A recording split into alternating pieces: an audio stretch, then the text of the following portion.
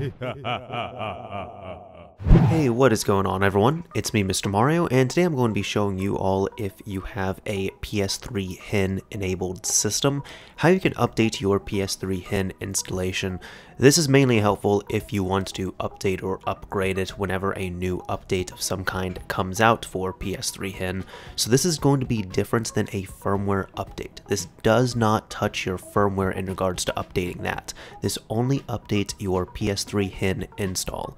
On top of that, this guide is also going to assume that you have already seen a PS3 HEN tutorial, you've set it up yourself, or you've seen the previous one I have done.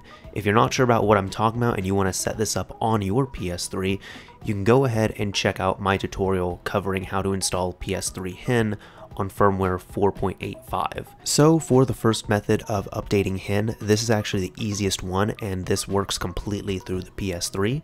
So first of all, you need to enable HEN. If you have not done so, do that already and just spend a few seconds letting it enable. And as you can see, I'm on 2.3.1, which is the latest version right now, so I'm technically going to be reinstalling this, uh, but this will work if you are updating to a newer version of HEN. Now, once you have it enabled, if you are on one of the newer versions which has this, you can check. If you go over to Network and you have Hybrid Firmware Tools, that means that you can use this method. And this method involves going to Hybrid Firmware Tools, go down to PS3 HEN Updater, update PS3 HEN, press X on here, yes to download, and let it download the latest HEN installer.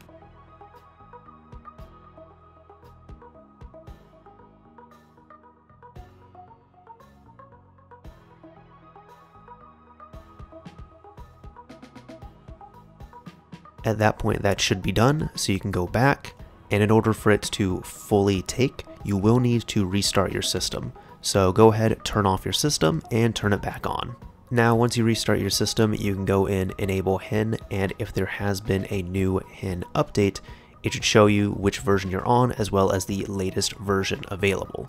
Now, the second method is going to involve your PC, and this is mainly useful if for some reason this method does not work, or if you are on a older version of PS3 HEN, which does not have the hybrid firmware tools built in. So if you're doing that, you will need your PC and of course a internet connection and a flash drive. So let's go ahead, grab all those things and move over to our PC. Over at the PC, go over to ps3xploit.com and as per usual, there are messages which do get posted up on here, so I'd recommend reading them, and they do always change, but 4.85 just released, and there just the warnings with PS3 HEN. And this still does apply. Do not enable factory service mode and don't install CCAPI if you're using PS3 HEN. Anyways, what you can do here is you can go over to PS3 HEN in the corner, select which firmware you are on. For this, I'm going to be using 4.85 HFW because that's what I'm using for my actual system firmware, and then click on HEN installer package. From here, make sure you have a flash drive which is formatted to FAT32. If you do not have a flash drive formatted to FAT32, you can take your flash drive, back up anything you need off of it, right click, format, and then format it to FAT32. Since mine's already been formatted, I'm just going to save this directly onto my flash drive here. And now with that saved, you can remove your flash drive and take it over to your PS3. Back over at the PS3, I'd recommend restarting it and do not enable HEN because you do not need it enabled when you first start this up. But instead, go over to your internet browser and we need to go to the PS3Xploit website. Now as you can see, I set mine to the default web page here but you just go to here, ps3xploit.com, and then you need to go over to the top left corner for PS3 HEN, select the current firmware you are on, and then select Enable HAN Rewrite Flash, and press X.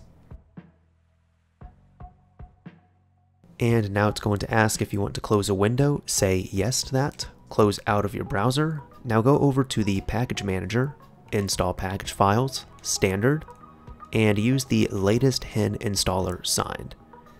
And this should just install by default. The reason why you don't have to enable HEN is because what we just did technically enables HAN and then allows us to install this. So once that is installed, you can go ahead and restart your PS3. Once your PS3 restarts, go ahead and re-enable HEN. And once you enable this, you should be on whichever latest version you just installed. Again, mine is 2.3.1 because at the moment this is the latest version, so I'm really just reinstalling it at this point. But there you go, so that is two methods you can use to update your PS3 HEN installation. Now, a few other quick tips here.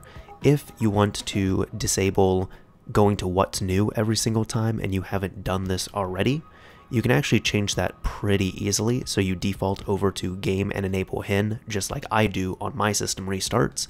If you want to do that, you can go over to settings, system settings, and in here you can turn off display what's new. So that way, whenever you restart your system, you'll default to enable HEN as opposed to what's new. On top of that, if you're having some issues with the PS3 HEN updater, one thing that is recommended that you should do is to disable the confirm browser close option. To do this, you can go to your internet browser, and then whenever it launches, we're going to have to change one of the settings in here. So you can press the triangle button, go to Tools, Confirm Browser Close, and turn that off. So that way, whenever HEN needs to close the browser, it will just do so automatically like that. The final thing as well, if you are confused with what firmware version you are on for whatever reason, that's also extremely easy to check. You can go over to Settings, System Settings of course, go to System Information, and right there it's going to show what version you're on under your system software. So that is about it. Hopefully this tutorial helped you all out.